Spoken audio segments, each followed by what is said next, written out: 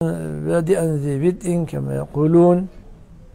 علينا أن نعبد الله في كل أحوالنا في حال فقرنا نكون لله عابدين في حال سعتنا نكون لله شاكرين. وكما قال رسولنا صلى الله عليه وسلم عجبا لأمر المؤمن فإن أمره كله خير.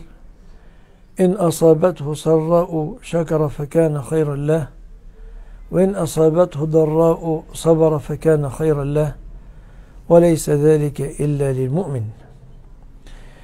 ينبغي أن نعلم شيئا عن قول الله تعالى ومن الناس من يعبد الله على حرف فإن أصابه خير اطمأن به فإن أصابته فتنة انقلب على وجهه خسر الدنيا والآخرة. ذلك هو الخسران المبين. يدعو من دون الله ما لا يضره وما لا ينفعه. ذلك هو الضلال البعيد. يدعو لمن ضره أقرب من نفعه. لبئس المولى ولبئس العشير.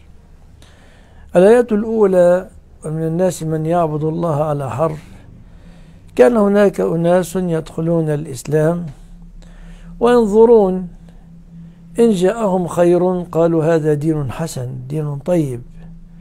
إن ولدت نساؤهم ذكورا أو أنتجت إبلهم إبلا أو اتسعت أرزاقهم أو جاءهم الغيث من السماء قالوا هذا دين طيب هذا دين حسن.